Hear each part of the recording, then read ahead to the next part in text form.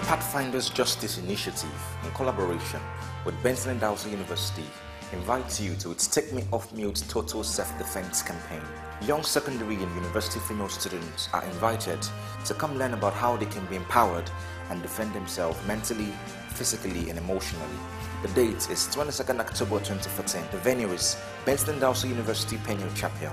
The time is 10 a.m.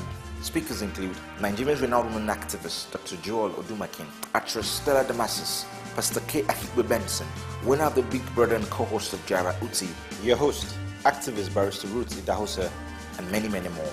Stay following the program for an incredible concert featuring Samuel Busu, Feke, and Makti. Trust me, you do not want to miss this. Come and be blessed.